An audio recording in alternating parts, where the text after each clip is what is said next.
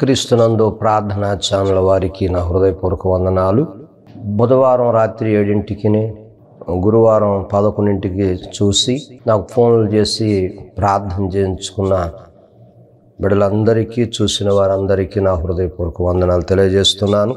మరి దేవుని పిల్లలు టీవీ దగ్గరకు వచ్చి చక్కగా కూర్చొని దేవుని వాక్యం వినవలసిందిగా ప్రభు పేరట మనవి చేస్తున్నాను. ఈ రోజున లూకాస్ వార్త ఇరవై నాలుగు పంతొమ్మిదో వచ్చినాన్ని ధ్యానం చేసుకుందాము. ఆయన ఏమని వారిని అడిగినప్పుడు? వారు యేసును గురించిన సంగతులే. ఆయన దేవుని ఎదుటను. ఆయన దేవుని ఎదుటను. అందరి ఎదుటను. ప్రజలందరి ఎదుటను. క్రియలలోను. క్రియలలోను. వాక్యములోను ఉండెను. శక్తిగల ప్రవక్త అయి ఉండెను. చాలు ప్రార్థన. ప్రభా కొద్ది నిమిషాలు. నాతో మాతో మాట్లాడి మహిమ తెచ్చుకో. ప్రజలు చక్కగా వింటున్నారు. వారికి వినబుద్ధి పుట్టించు. వారికి మారు మనసు కలుగొచ్చాయి వారి సమస్యలు విడగొట్టు. ఏసునామని అడుగుచున్నాను తండ్రి. ఆమె చదవబడిన లేఖన భాగములు విన్నాం మనం. అక్కడ టాపిక్ ఏంటి అంటే యేసు ప్రభు చనిపోయిన తర్వాత ఇద్దరు శిష్యులు అమ్మాయి అనే మార్గంకి వస్తున్న పరిస్థితుల్లో వాళ్ళు యేసు ప్రభుని చూడడానికి వస్తున్నప్పుడు యేసు ప్రభు వారికి కలిశాడు కానీ యేసు ప్రభును వారు గుర్తించలేకపోయారు. వారు వారి కనులు మూయబడ్డాయి. యేసు ప్రభు కూడా ఒక బాటసారిగా వారితో నడుస్తూ వచ్చి మాట్లాడుతున్న సందర్భం అది. మాట్లాడుతున్న సం సందర్భంలో మనం చూసిన మాట వారిని అడుగుతున్నాడు పంతొమ్మిదవ వచ్చును చాలా చక్కగా ఒకసారి ఆయన అవి ఏమని వారిని అడుగగా? వారు ఏం చెప్తున్నారు అక్కడ? యేసు ప్రభు అంతకుముందు చేసినటువంటి సంగతులను చక్కగా వివరిస్తూ యేసు ప్రభువుతోనే సువార్త చెప్పి వారు వారు ఆనందిస్తున్నట్లుగా మనం చూస్తున్నాం. యేసు ప్రభుకే సువార్త చెప్తున్నారు. ఏంటి అంటే యేసు ప్రభు చేసినటువంటి ఆ కార్యములన్నీ చూసి ఆ- లైన్లో అంటాడు వాక్యములోను ఆయన దేవుని ఎదుటను ప్రజలందరి ప్రవక్తగా ఉన్నాడు. శక్తిగల నాలుగు విషయాలు అక్కడ కనబడతాయి. ప్రియదేవుని పిల్లలారా ఒకటి క్రియ రెండు వాక్యము మూడు శక్తి నాలుగు ప్రవక్తగా చూస్తాం. ఇలాగ మేము చూసాము ఆయన్ని అని ఆయన గురించి యేసు ప్రభువును గురించి పొగుడుతున్నారు యేసు ప్రభు దగ్గరే. కానీ ఆ యేసు ప్రభు అని గుర్తించలేకపోతున్నాం గుర్తించలేదు. కానీ ఆయన్ని చూడాలని వచ్చారు. కానీ వారితో కూడా ఆయన ఆనందిస్తున్నాడు. ఆయన శక్తి కలిగిన మాటలు చూస్తున్నారు. కనుక దేవుని పిల్లలు ఆ టీవీ దగ్గర వాక్యం ఉంటున్నటువంటి దేవుని పిల్లలారా ఒకసారి ఆగి ఆలోచన చేయండి. క్రియలు రెండవది వాక్యము మూడవది శక్తి నాలుగవది ప్రవక్త. ఈ నాలుగు విషయాలు వారికి బోధిస్తూ యేసు ప్రభుకు చెప్పుకుంటూ చక్కగా వాళ్ళు ఆనందిస్తున్నట్లుగా చూస్తున్నాం. నిజమే అంతకుముందు మనం చూస్తే ఇంకొక మాట కూడా మీకు తెలియజేస్తాను. లోకాసు వార్తలు ఏడవ అధ్యాయంలోనే పద్నాలుగు పదిహేనవ వచనంలో చిన్నవాడా? లెమ్మని నీతో చెప్పుచున్నాను అనగా లేచి కూర్చుండి కూర్చుండి మాట్లాడసాగాను. చూసారు ఇక్కడ మనం ఏం చూసాం? క్రియలు. ఎవరి క్రియలు? ఆయన క్రియలు మేము వాక్యాన్ని మేము చూసాం అంటే యేసు ప్రభు బ్రతికున్నప్పుడు ఇప్పుడేం చనిపోయి వారితో ఉన్నాడు ఆ ఇద్దరు శిష్యులతో ఉన్నటువంటి విషయము ఆ శిష్యులు ఈయనకు తెలుసు కానీ వాళ్ళు ఈయన గుర్తుపట్టలేని పరిస్థితుల్లో. యేసు ప్రభు యొక్క స్థితిని యేసు ప్రభుకే తెలియజేస్తున్నారు. ఒకటి క్రియలు ఉన్నాయి ఆయనలో యేసయ్యలో రెండు వాక్యం ఉంది మూడు శక్తితో నింపబడ్డాడు. నాలుగు ప్రవక్తగా ఉన్నాడు అని చెప్పి మరి యేసు ప్రభుకే ఆ ఇద్దరు శిష్యులు లేక ఆ ఇద్దరు వ్యక్తులు చెప్పినట్లుగా కనబడుతుంది. అయితే ఆయన బ్రతికు ఉన్నప్పుడు ఆ నైనాన్ అనేటువంటి ఊరిలో ఒక వెధవరాలు కుమారుడు చనిపోతే పాడి తీసుకొస్తున్నప్పుడు యేసు ప్రభు వెళ్ళి ఆమె మీద కనికరం ఉంచి ఆ పాడి ముట్టంగానే అక్కడ లేచి ఆ చనిపోయిన వాళ్ళు లేచాడు. తీసుకొచ్చి ఆ మీద కనికరం ఉంచి ఆ బాబును అక్కడ అప్పగించినట్లుగా చూస్తున్నాం. అంటే యేసు ప్రభు విషయంలో చూసినప్పుడు క్రియ కావాలి. అలాగే ఒక విశ్వాసకి ఒక దేవుని పిల్లలకు క్రియ లేకపోతే లేక ఆయన వాక్యం లేకపోతే మనం ఎక్కడ ముందుకి అడుగు వేయలేం. కనుక క్రియలు వాక్యం వాక్యంతో మనం ముడి వేసుకొని ఉండాలి. ఆ రుచి వాళ్ళు చూశారు కాబట్టి ఎవరు చూశారో? యేసు ప్రభు అమ్మటి ఆ ఇద్దరు ఆ శిష్యులు వస్తూ ఉంటున్న పరిస్థితులు చూడాలని వాక్యం తెలుసు కాబట్టి తిరిగి యేసు ప్రభుకే పంతొమ్మిదో వచ్చిన వాక్యం చెబుతున్నారు. లోకాసు వార్తలో ఇరవై నాలుగు పంతొమ్మిదిలో చక్కగా వాక్యం చెబుతున్నారు. వాక్యం తెలిసి ఉన్నారు కాబట్టి ఆయన చూడాలని వచ్చారు కానీ ఆయనే వాళ్ళ ఎదురుకు వచ్చినప్పుడు దేవుడు వాళ్ళ కళ్ళు మోయించేసాను ఒక్కోసారి ప్రభు మనతో మాట్లాడే సమయంలో మనం కూడా గుర్తించలేం. గుర్తించలేని పరిస్థితులు. ఎందుకు అంటే మన అవిశ్వాసాల ద్వారా భక్తి లేని పరిస్థితుల్లో దేవుణ్ణి దేవునిగా మహింపరచకపోవటం ద్వారా ఒక్కొక్కసారి ప్రభు మన దగ్గరకు వచ్చి మనతో మాట్లాడాలన్నా మనం మన ఆత్మీయ నేత్రాలు తెరవబడకపోవటం ద్వారా ఒక్కొక్కసారి ఆయన దూరం అయిపోతున్నాడు. నువ్వు మంచిగా ఓ సహోదరుడా సహోదరి ఒకసారి ఆగి ఆలోచన చేయండి. మందిరానికి వెళ్తున్నావు. చాలా చక్కగా ఆరాధిస్తున్నావు. ఆరాధనకి యోగ్యులుగా ఉన్నారు. ఉండాలి. మంచిది. దేవుడు నిన్ను చూస్తున్నాడు. దేవుడిని భక్తి చూస్తున్నాడు. నీ విశ్వాసాన్ని చూస్తున్నాడు. నీ నమ్మకాన్ని చూస్తున్నాడు. అవును. మరి ఆ నమ్మకం ఇంకా కొంచెం పొడిగిస్తూ ఈ శిష్యులు ఎలాగా దేవునితో ఉన్నారో చక్కగా వాళ్ళు యేసు ప్రభువును గుర్తుపట్టలేదనే కానీ చక్కని వర్తమానం అందిస్తున్నారు. అయితే ఈ రోజున మీరు కూడా ఎప్పుడైతే వారు ఆ సమయంలో యేసుప్రభును గుర్తించలేదు కానీ యేసుప్రభు ఆరోహణం వెళ్ళిన తర్వాత పరిశుద్ధాత్మ వచ్చినప్పుడు గుర్తించి ప్రభువుని వారు కన్న వాటిని చెప్పకుండా ఉండలేకపోయారు. ఎన్నో భయంకరమైనటువంటి పొత్తులు వచ్చినా నిలబడగలిగారు.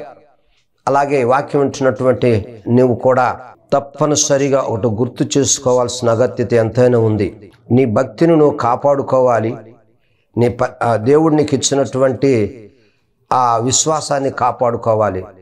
అందుకనే దేవుని మందిరంలోకి వెళ్ళేటప్పుడు నీ ప్రవర్తన జాగ్రత్తగా చూసుకో. నువ్వు దేవుని మందిరానికి వెళ్తున్నావు. దేవుని సన్నిధికి వెళ్తున్నావు. సేవకులు మంచి వర్తమానం బోధిస్తున్నారు. వర్తమానం విని గ్రహించే ఆత్మతో నువ్వు నింపబడాలి.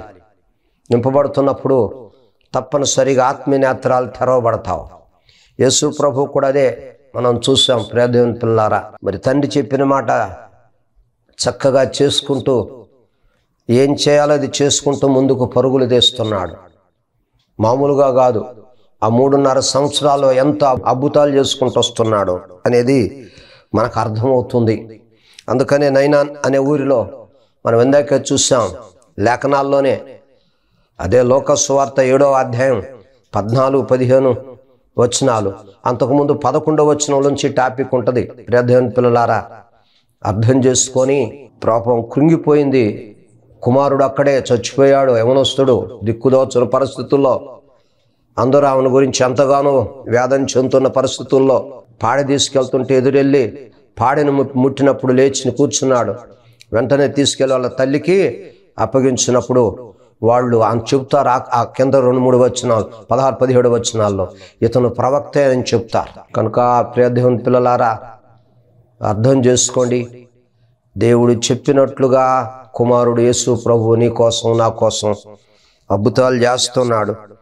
ఈ విషయాన్ని ఇంకొక దగ్గరగా విషయం చెప్తాను. చక్కగా గమనించండి. టీవీ దగ్గర కూర్చొని చక్కగా విని గ్రహించడానికి ట్రై చేయి. అద్భుతాలు స్వస్థతలు ఆశ్చర్యకార్యాలు మహత్కార్యాలు సూచక్రియలు ఆల్రెడీ నీకు ఎన్నో చేసేసాడు. నువ్వు గుర్తించట్లేదు. గుర్తించకుండా ఇంకా గుర్తించకుండా ఇంకా దేవుణ్ణి దూరం చేసావు దూరం పెట్టేశావు. మందిరానికి వెళ్తున్నాననే పేరు అయితే ఉంది కానీ నువ్వు క్రియల్లో నువ్వు సరిగా లేవు. క్రియలు లేని విశ్వాసము మృతమని ఖచ్చితంగా దేవుడు తెలియచేస్తున్నాడు. ఓ దేవుని పిల్లలారా మందిరానికి వెళ్తున్న వారులారా బల్లారాధనలో చేవేస్తున్న వారులారా దేవుని చిత్తంతో నడుస్తున్న వారులారా ఈ గుర్తెరగాలి. గుర్తెరిగినప్పుడు తప్పనిసరిగా నీ పక్షంగా దేవుడు కార్యాలు చేయబోతున్నాడు. ఇప్పుడు మనం అద్భుతాలు ఎందుకు చేయడు? ఇప్పటికే నువ్వు పుట్టిన దగ్గర నుంచి అది చూస్తున్న ఆ వయసు వరకు కూడా ఎన్నో అద్భుతాలు చేసుకొచ్చాడు. కోట్ల కొలది మేళ్ళు చేసుకొచ్చాడు. నీకు అర్థం కావట్లా? ఇప్పుడు కూడా ఏ స్థితిలో పడిపోయావో ఏ స్థితిలో జారిపోయావో ఏ స్థితిలో దేవునికి దూరస్తుడు అయిపోయావో ఏ స్థితిలో దేవునికి దూరస్తురాలుగా ఉన్నావో క్రీస్తు యేసుల సమీపస్తురాలుగా ఈ సమయంలో ఉంచడానికి ఆయన ఆయన ఎలా తండ్రి చిత్తం చేశాడో నువ్వు కూడా యేసు ప్రభు చెప్పింది సేవకులు చెప్పింది ఖచ్చితంగా వింటే నీ పక్షంగా దేవుడు అద్భుతాలు చేస్తాడు. నీ ఏ స్థితిలో పడిపోయావో పడిపోయిన స్థితిలో నుంచి లేపి నిన్ను బలపరచగలిగినా దేవుడు ఈ ఒక్కటి గుర్తు పెట్టుకో. మళ్ళా మూడో మాటగా నేను తెలియజేస్తున్నాను. ఇదిగో మరి యోహన్ సువార్తలో మూడో అధ్యాయం రెండో వచనంలో నికోదేము అనేటువంటి ఒక వ్యక్తి నిజమే వాక్యం బాగా తెలుసు. చదువుతావా? చక్కగా. అతడు రాత్రి ఎందు ఎవరు అతను నికోదేము రాత్రి ఎందు ఆయన యేసు ప్రభు దగ్గరికి వచ్చి బోధకుడా నీవు దేవుని యొద్ద నుంచి వచ్చిన బోధకుడా నీవు? మేము ఎరుగుదుము. దేవుడు అతనికి తోడే ఉంటేనే గాని నీవు చూచిన చేయుచున్న చేయలేడని ఆయనతో చెప్పాను. అది ఏం చెప్తున్నాడు? నీవు చేయుచున్న క్రియలు ఎవరును చేయలేరు. అయితే నేను ఎవరు పంపించారో? దేవుడే నిన్ను పంపించబట్టి ఈ క్రియలు చేస్తున్నావని ఆయన డేరుగా వచ్చి పగలపూట యేసు ప్రభుతో మాట్లాడలేకపోయాడు. వినాలి. పగలపూట వచ్చి దేవునితో మాట్లాడలేకపోయాడు. కానీ అవును తన హృదయంలో ఎవరున్నారు ఇప్పుడు? ఏసై ఉన్నాడు. ఎవరి హృదయంలో? నికోదేము హృదయంలో ఏసై ఉన్నాడు. ప్రియదేవుని పిల్లలారా అర్థం చేసుకోండి. ఇంకొక మాట చెప్పాలంటే ఆ నికోదేముకు అనుకూలం లేదు. అందరేమో ఆయన యేసు ప్రభు కాదు అననే అలా ఆలోచనలో ధర్మశాస్త్రం కొంద ఉండిపోయారు. కానీ ఇదిగో ఆ ఒక్క మాటలో చెప్పేశాడు. దేవుడు నిన్ను నిన్ను పంపించకపోతే ఇలాంటి సూచక్రియలు ఎవరు చేయలేరు. అక్కడే దేవుడని తెలుసుకున్నాడు ఆయన. తనలో మారు మనసు వచ్చేసింది. తెలిసేసుకున్నాడు అప్పుడే గుర్తించేశాడు. ఈరోజు నికోదేము ఎలా గుర్తించాడో నువ్వు కూడా దేవుడు నా కోసమే అవును పరలోకం నుంచి వచ్చి ఈ సూచక్రియలు చేస్తూ అద్భుతాలు చేసి సిలువ మీద నా కోసమే చనిపోయి తిరిగి లేచాడని నువ్వు ఆలోచన చేస్తే ఏ పరిస్థితుల్లో ఉన్నా ఆయన మతం స్థాపించడానికి రాలేదు. ఆయన మార్గాన్ని చూపించడానికి వచ్చాడు. అందుకని అంటాడు నేనే మార్గమును నేనే సత్యమును నేనే శివమును అన్నాడు. అవును ఇంకా కనబడని మతం అనే మురు ముసుగులో ఉంటే ఆ ముసుగును తీసివేయి ఆ ఆచారాల అలవాట్లు తీసివేయి. యేసు ప్రభు నీకోసం శిలువ మీద మరణించి తిరిగి లేచాడని నువ్వు గ్రహించు. గ్రహించి ఆ గ్రహింపులో నికోదేము ఏ రీతిగా ఆ- ఆ విషయంలో ఆయన అక్కడికి రాలేని పరిస్థితుల్లో కూడా సత్యాన్ని తెలుసుకొని వచ్చాడు. తన భవిష్యత్తును బాగు చేసుకొని పరలోకానికి వారసులయ్యాడు. ఈ రోజున నువ్వు కూడా వాక్యం వింటున్నావు. నికోదేమ దేవునికి లోబడ్డాడు. ఆ వచ్చినంలో లోబడ్డాడు. నువ్వు దేవుడు పంపిస్తే వచ్చావని అవును ఆ క్రియలు దేవుడే కానీ ఎవరు చేయలేరని ఆయన ఒప్పేసుకున్నాడు. చక్కగా నువ్వు చేయుచున్న క్రియలు బా ఈయన చక్కగా మాట్లాడాడండి. ఏమనుందంటే నువ్వు చేయుచున్న క్రియలు దేవుడు అతనికి ఓకే ప్రియదేవుని పిల్లలారా ఆయన గ్రహించాడు. ఈరోజు టీవీ దగ్గర వింటున్నటువంటి నీవు గ్రహించాల్సిన అవసరత ఎంతైనా ఉంది. ఇప్పటికే గ్రహింపు లేని పరిస్థితుల్లో నువ్వు నీ జీవితాన్ని కొట్టుమిట్టులాడుతున్నావు మందిరానికి వెళ్తున్నావు మంచివాడు దేవుడు అంటున్నావు. చాలా నాకెన్నో మేలు చే చేస్తున్నాడని చెప్పుకోవటం పెదవులతో ఆరాధన చేయటం జరిగిపోతుంది కానీ నీ హృదయాన్ని పరిపూర్ణంగా దేవునికిచ్చి ఆ హృదయంలో నుంచి దేవుణ్ణి ఆరాధించడం తెలకపోతే ఈ రోజున అలాగ హృదయంలో నుంచి ఆయన ఆరాధించడానికి నువ్వు నేర్చుకుంటే అది నీకు మంచిది. వచ్చాడు అందుకనే ఎవరైనా నికోదయం సత్యాన్ని తెలుసుకున్నాడు. సత్యాన్ని తెలుసుకున్నారు. ప్రియదేవుని పిల్లలారా ఈ రోజున నువ్వు కూడా సత్యాన్ని తెలుసుకో. ఇందాకే చెప్పాను ఇది మతము కాదు. ఇది మార్గం. పరలోక రాజ్యానికి వారసులు. అందుకనే దేవుడు అందరికీ ప్రభువే. దేవునికి లోబడు. ఏమి లేదు. నీ హృదయాన్ని ఇచ్చి నీ హృదయముతో చెప్పేశారు కదా. హృదయ శుద్ధి గల వారు ధన్యులు. వారు దేవుని చూస్తారు. హృదయ శుద్ధి గల వారు ధన్యులు. నువ్వు ఖచ్చితంగా ఇప్పటికే మరొకసారి మీకు అద్భుతాలను గురించి చెప్తున్నాను. ప్రియ దేవుని పిల్లలారా ఇంకో మాట కూడా మీకు తెలియచేయాలి. ఐదవ అధ్యాయం యోహన్ సువార్త. ముప్పై ఆరో వచనం. ముప్పై ఆరో వచనం. అయితే యోహాను సాక్ష్యము కంటే అయితే యోహాను సాక్ష్యము కంటే ఎక్కువైన సాక్ష్యము కలదు. నాకు ఎక్కువైన సాక్ష్యం కలదు. అదేమనినా. తండ్రి నాకు ఇచ్చి ఉన్నాడు? తండ్రి నాకే క్రియలు ఇచ్చి ఉన్నాడు. ఇక్కడ మనకు అర్థమవుతుంది ప్రియదేవుని పిల్లలారా ఇక్కడ నేను చేయుచున్న క్రియ క్రియల వల్లే తండ్రి తండ్రి ఏ క్రియలు నాకు ఇచ్చి ఉన్నాడు ఇచ్చి ఉన్నాడు నేను చేయుచున్న ఆ క్రియలే తండ్రి నన్ను పంపి ఉన్నాడని ఇప్పుడు వీళ్ళిద్దరు ఉన్నారు. ఎవరెవరు ఉన్నారు ఇప్పుడు? తండ్రి నాలో ఉండి ఆయన క్రియలే నేను చేస్తున్నా కానీ నా అంతటి నేను చేయట్లేదు. అంటే నిజమే అంతకుముందు కొంచెం చెప్తాను కొద్దిగా. ఆ యోహాను ఒక మాట చెప్పాడు ముప్పై ఐదో వచనంలో.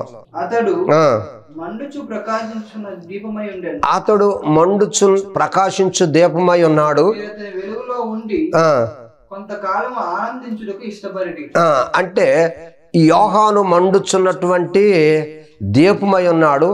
కొంతమా కొంతవరకు ఆయన వెలుగుతూ వెలిగిస్తాడు. ఆయన పని అది? ఎవరు ఎవరి పని? యోహాను పని అది ఆయన చేయాల్సింది చేస్తాడు. అయితే ఇప్పుడు యేసు ప్రభు గురించి ముప్పై ఆరో వచనంలో ఆయనే మాట్లాడుకుంటున్నాడు. యోహాను కంటే నేను? అయితే యోహాను సాక్ష్యము కంటే నాకు ఎక్కువైన సాక్ష్యము కలదు. అదేమని నేను నెరవేర్చుటకు తండ్రి నాకే క్రియలు ఇచ్చాడో? ఆ క్రియలే సాక్ష్యం ఇస్తున్నాయి. తండ్రి నన్ను పంపించాడని ఏం సాక్ష్యం ఇస్తున్నవి? క్రియలు. క్రియలు అంటే అద్భుతాలు. ఇప్పుడే మనం చూసాం కదా ఒకటి నైన్యాన్ ఊరిలో నుండి ఒక యవ ఆ, చనిపోయినటువంటి ఆ చనిపోయినటువంటి ఆ వ్యక్తిని బ్రతికించాడు. రెండోది నికోదేము అనే ఆ- ఆ- వ్యక్తిని దేవుడు మార్చుకున్నాడు. కదా అందుకని నేను కాదు ఆ, ప- దేవుడు నన్ను పంపించిన క్రియలే ఆ, ఇప్పుడు మీకు అద్భుతాలు జరిగిస్తున్నవి నా వల్ల కానే కాదని ప్రభు ఎవరి మీద పెట్టాడు? తండ్రి అటువంటి యహోవా మీద పెట్టాడు. ప్రియదేవుని పిల్లలారా కొంచెం ఆగి ఆలోచన చేయండి. ఇప్పుడు నీకు ఏ అద్భుతాలు కావాలన్నా ఏది కావాలన్నా తండ్రి పంపినటువంటి యేసుక్రీస్తు నామములో నీకు అద్భుతాలు జరుగుతాయి.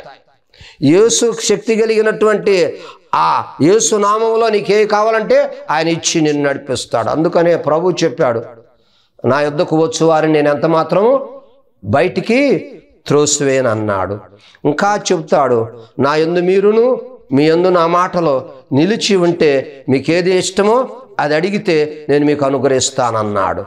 ఎవరు? యేసుక్రీస్తు నామములో మీకు మేలు జరుగుద్ది. ఎలాంటి భయంకరమైనటువంటి పరిస్థితులను కూడా సరిచేసి నీకు అన్ని విధాలుగా ఆదరణగా ఉండి నీ వెనక నీకు ముందు ఆయన ఆవరించి నిన్ను నడిపించి నీ చుట్టూ ఉన్న బంధకాలను కూడా తెంచివేయగలిగిన దేవుడు. అలాంటి మంచి దేవుడు నీకు దొరికితే ఆయన్ని దూరం చేసుకోవద్దు. ఆయన దూరం చేసుకోకుండా ఆయనే చెప్పాడు నేను ద్రాక్షవలిని మీరు తీగలు నన్ను అంటు కట్టుకుంటే మీరు బహుగా ఫలిస్తారన్నారు. అవును మనం ఫలించటానికి ఇష్టం గనుక టీవీ దగ్గర వింటున్నటువంటి దేవుని పిల్లలారా మీరు బహుగా ఫలించాలి. ఈ వాక్యం వింటున్న నీవు నీ కుటుంబం నీ పిల్లలు పరిస్థితులు దీవించబడాలి. ఒక కొరినేలు కుటుంబం ఆశీర్వదించబడినట్లుగా ఈ వాక్యం విని నీ జీవితము అన్ని విధాలుగా ఆశీర్వాదం పొందాలి. ఎక్కడున్నానో? చాలామంది వాక్యం చెబుతున్నప్పుడు అటు ఇటు తిరుగుతుంటారు. కొంతమంది అటు ఇటు తిరుగుతూ వింటూ ఉంటుంటారు. కొంతమంది టీవీ దగ్గర అటు ఇటు వెళ్తూ కూడా వింటూ ఉంటారు. కొంతమంది చక్కగా కూర్చొని వింటుంటారు. కొంతమంది గ్రహిస్తుంటారు. అలాగ కూర్చొని ఈ అరగంట సేపును వింటే నీ భవిష్యత్తే బాగు బాగుపడిపోద్ది. నీ భవిష్యత్తు ఎంత బాగుపడుద్దంటే అంత బాగు ప్రభువే నీతో సూటిగా మాట్లాడతాడు. కూర్చోవటం కూడా ప్రార్థనాపూర్వకంగా కూర్చో. టీవీ దగ్గరికి వచ్చి కూర్చునేటప్పుడు ప్రార్థనాపూర్వకంగా వచ్చి కూర్చో. ప్రభా ఈ రోజున ఈ బుధవారం రాత్రి ఏడు గంటల నుంచి ఏడున్నర వరకు నువ్వు నాతో మాట్లాడు. నాలో ఉన్న జబ్బు తొలగించు. నాకు స్వస్థత దయచేయి. రక్షణ లేదు బాబు. నాకు రక్షణ దయచేయి. సమాధానం లేదయ్యా. సమాధానం దయచేయి. బలహీనురాలుగా ఉన్నాను. బలము దయచేయి. బలహీనుడుగా ఉన్నాను. నీ చిత్తం నా మీద ఉంచు. ఆర్థికంలో ఉన్నాను. నా ఆర్థికం లేకుండా చేయి. ఈ రీతిగా వచ్చి హృదయపూర్వకంగా టీవీ దగ్గర కూర్చుంటే సేవకులు మాట్లాడుతున్నప్పుడు వెంటనే ఈ మాటలు నీ హృదయంలోకి వెళ్ళిపోయి లూదియా హృదయం తెరవబడినట్లుగా లేక అద్భుతాలు జరిగినట్లుగా దేవుడు చేస్తాడు. అది నీ దగ్గరే ఉంది. టీవీ దగ్గర కూర్చొని వింటున్నావు కదా? ఖచ్చితంగా దేవుడు నీకు మేలు చేస్తాడు. ఆయన నమ్మదగిన దేవుడు. కనుక నేను చేయట్లేదని ఎవరు చేస్తున్నారు దేవుడే ఆ క్రియలు చేస్తున్నాడు. ఇంకో మాట చెప్తాను పద్నాలుగు పదవచ్చును వ్యవహంస వార్త తండ్రి ఎందు ఆ, తండ్రి ఎందు నేనును ఎందు అబ్బా నేను ఆయనలో తండ్రి ఉన్నారని నమ్మట్లేదా? నేను నీతో చెప్తున్న మాటలు నా అంతటా నేనే చెప్పట్లేదు. తండ్రి నా ఎందు నివసించుచు. ఎవరంట? నేను కాదు కానీ తండ్రి నా యందు నించొని క్రియలు చేస్తున్నాడు. నా దగ్గర ఏమీ లేదు. కనుక ప్రియదేవన్ పిల్లారా ఇలాంటివి కావాలంటే ఎలా చేస్తాడు తండ్రి నా యందు ఆ విశ్వాసం ఉంటే ఓ మాట చెప్తాను ప్రియదేవన్ పిల్లారా. మరి ఎన్నో అద్భుతాలు కూడా చేయగలిగిన దేవుడుగా మనకు కనబడతాడు ప్రియదేవన్ పిల్లారా. నిజమే ఆయన చాలినంత దేవుడుగా అపోస్తుల కార్యం రెండవ అధ్యాయం ఇరవై రెండవ వచ్చును వినుడి. దేవుడు నజరుడైన యేసు చేత అద్భుతములను మహత్కార్యములను సూచక క్రియలను మీ మధ్యన చేయించి ఆయనను తన వలన వానిగా కనబరిచెను.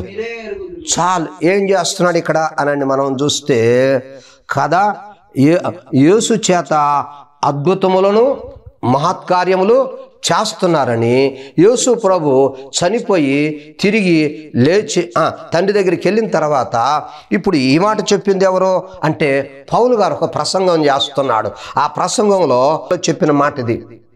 ఏం చెప్ ఏం చెప్తున్నాడు ఈ మాట అంటే యేసు అద్భుతములను మహత్కార్యములు చేశాడు అని ఆ ధర్మశాస్త్రం కింద ఉన్నటువంటి వాళ్ళను రేపి వాళ్ళతో మాట్లాడుతున్నాడు బలపరుస్తున్నాడు. అందుకనే ఈ అద్భుతాలు ఆశ్చర్య కార్యాలు అనగానే ఇంకో మాట గుర్తు మీకు గుర్తు చేస్తాను. చక్కగా గ్రహించండి. ఇంకొక మాట ఏంటి అంటే నిజమే అదే అపోస్తుల ఐదవ అధ్యాయం పదిహేను పదిహేడవ వచనంలో చక్కగా మీరు చదువు చదువుకోండి. అక్కడ పేతురు తెచ్చి జనులు రోగుల్లో వీధుల్లోకి తీసుకొచ్చి ఎవరి మీద నేను నీడ పడవలనని మంచముల మీదను ఉంచిరి. మరియు విరిశిలే ఉన్న చుట్టూ పట్టణములను రోగులను పీడింపబడిన వారిని మోసుకొని కూడి వచ్చిరి. పో- చూసారా అంటే ఏంటి ఇప్పుడు మేము కాదు కానీ ఎవరు చేశారో? దేవుడు అద్భుతాలు చేశాడు. దేవుడు ఆశ్చర్య కార్యములు చేశాడు. అంటే యేసు ప్రభు దగ్గరకు వచ్చిన వారు అక్కడ చక్కగా ఎవరి నీడ? పేతురు నీడ తగిలితే చాలు అని ఎరుషులేము చుట్టూ ఉన్నటువంటి ముప్పై లక్షల కాల్బలం ప్రజలు ఆ పేతుడి దగ్గరికి వస్తే ఆ నీడ తగలంగానే అందరూ స్వస్థతలో పొందారు. అందరూ రక్షణ పొందారు. ఆ ఆ, ఆయన రాకడకు సిద్ధపడ్డారు. అంటే ఇప్పుడు యేసు ప్రభు ఉన్నప్పుడు స్వస్థతలు చేశాడు. యేసు ప్రభు చనిపోయిన తర్వాత మళ్ళా ఆయన వెళ్ళి పరిశుద్ధాత్మను యాభై రోజున పంపించి పేతురు ద్వారా ఒక ప్రసంగం ద్వారా దేవుడు మూడు వేల మందిని బాప్తిస్తం ద్వారా రక్షించుకొని అపోస్తుల బోధయందును సావాసమందును నిలబెట్టుకొని తిరిగి ఆయన నీడ తగిలితే కూడా అద్భుతాలు చేస్తాయి. ఎవరు చేశారు ఇదంటే ముందేమో తండ్రి కుమారుని పంపించాడు. కుమారుడు ద్వారా కుమారుడు ద్వారా మరి ఈ అద్భుతాలన్నీ జరుగుతూ ఉన్నాయి. కనుక ఈ రోజున పరిశుద్ధ ఆత్మదేవుడు వింటున్నావు కదా ఇప్పుడు టీవీ దగ్గర? వింటున్నావు కదా? వింటున్నటువంటి నీవు లోబడి దేవుని చిత్తంలోకి నడిస్తే నీ చుట్టూ అద్భుతాలే. బలహీనరాలుగా ఉన్నావా? కృంగిపోయావా? కృంగిన వారిని లేపే దేవుడు. పడి ఉంటున్నటువంటి పరిస్థితుల్లో ఉంటే ఇప్పటికైనా సరే నేను ప్రార్థన చేస్తాను. ఏ స్థలంలో నువ్వు కూర్చున్నావో ఆ స్థలంలో కొంచెం మోకరిస్తే ప్రార్థన చేస్తాను. మోకరించలేని పరిస్థితుల్లో కాస్త కళ్ళు మూసుకుంటే ప్రార్థన చేస్తాను. ఇదిగో నిజమే దేవుడు చెప్పేశాడు నాకంటే మీరు గొప్ప కార్యాలు చేస్తారన్నారు. అలాగే పేతురు ఆ నీడ తగిలితే చాలనుకున్నారు. గొప్ప కార్యాలు దేవుడు జరిగించేశాడు. కనుక ప్రేధ్వంతులారా ప్రార్థన చేస్తాను. అందరూ ప్రభు ఇంతవరకు మీరు మాకు తోడుగా ఉండి ఈ దినమున నీ మహిమతో అదిగో వాక్యం వింటున్నటువంటి బిడలను బలపరిచినందుకు స్థుతిస్తుంటున్నా నమ్మదగిన దేవుడు. నమ్మదగిన నీ నామంలో అపనమ్మకము లేకుండా విశ్వసించి వారి పక్షంగా ప్రార్థిస్తుంటున్నాను. నా యొద్దకు వచ్చు వారిని నేనెంత మాత్రం బయటికి త్రోసివేనన్నారు. అయా టీవీ దగ్గర కూర్చొని చక్కగా నీ మాటలు విని వారు గ్రహించారు నాన్న. ఇదిగో వారికి ఏ మేలు అవసరతలు ఉన్నవో ఏ అక్కర్ల అవసరతలు ఉన్నవో ఆ అక్కర్లు తీర్చండి. రక్షణ లేదా? నిజమే. ప్రభువా అదిగో ని- నికోదేవుని మేము చూసినప్పుడు తండ్రి అర్ధరాత్రి వచ్చి వాక్యం విన్నాడు. వెంటనే గొప్ప రక్షణ పొందాడు నాన్న. అలాగే రక్షణ లేని వాళ్ళకు రక్షణ దయచి.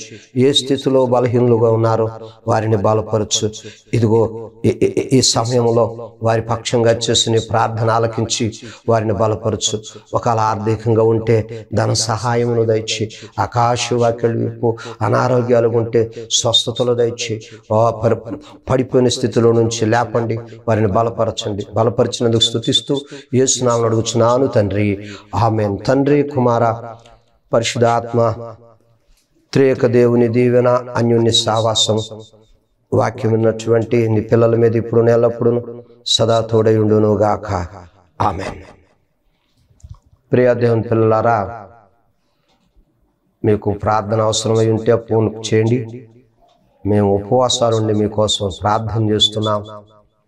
వాక్యం విన్న వారికి అనేకమైన మేళ్ళు దేవుడు చేస్తున్నారు. మళ్ళా తిరిగి వాళ్ళు నాకు ఫోన్లు చేస్తున్నారు.